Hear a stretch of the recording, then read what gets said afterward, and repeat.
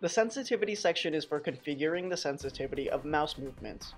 You can set the mouse sensitivity for aim look mode, as well as ADS or aim down sight mode. Aim look mode settings configure how the mouse movements respond during when the character has a normal view in the game. Check the box next to invert vertical mouse movement to reverse the up-down movements of the mouse, so that pushing the mouse forward causes a downward movement, and pulling the mouse back causes an upward movement. The aim look sensitivity bars set how quick or slow mouse movements respond.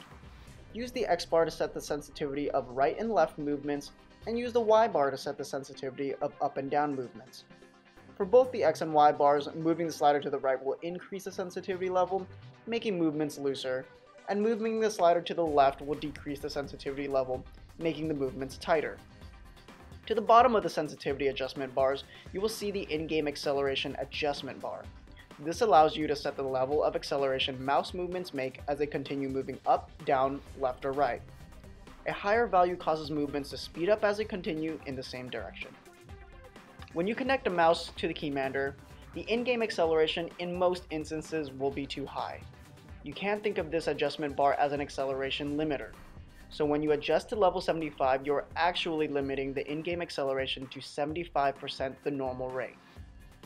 Next, we can adjust the diagonal acceleration. This adjustment is useful when the game you're playing has a circular dead zone. A circular dead zone will slow your diagonal movements. You can mitigate this diagonal slowdown by setting the diagonal acceleration.